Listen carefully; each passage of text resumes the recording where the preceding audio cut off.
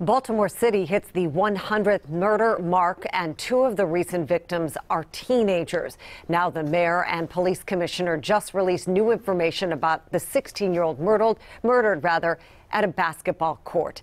WJZ investigator Mike Hellgren's live near the scene of the crime in southwest Baltimore, updating the case for us. Mike?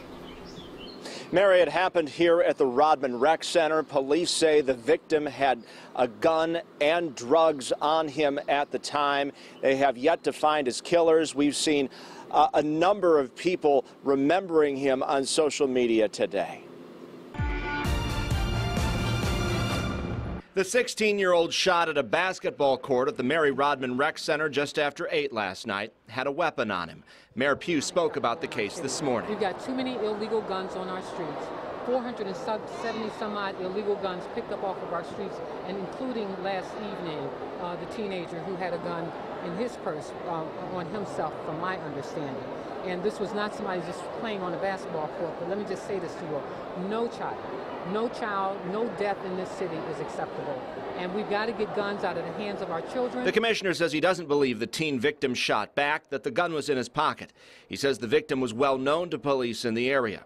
He's the second teen shot in Baltimore in four days. On Saturday, Ray Glasgow, the third, the lacrosse captain at City College High School, was gunned down on Eden Street near the Perkins homes. Police say he was not the intended target, and they're still looking for his killers in a white two-door Nissan Altima connected to the case.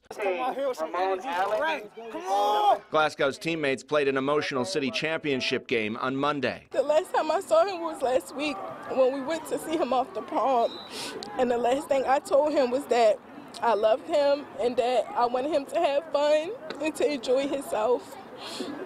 And it's just wrong because my cousin didn't do nothing. Glasgow will be buried Friday as Baltimore marks a grim milestone, the city's 100th murder of 2018. My family is heartbroken and we just want to know why. And it is Baltimore ceasefire this weekend. They were handing out information about it uh, here in the neighborhood today. Put the guns down. That's the message. And coming up new at 5, we'll tell you more about the 16 year old who died here.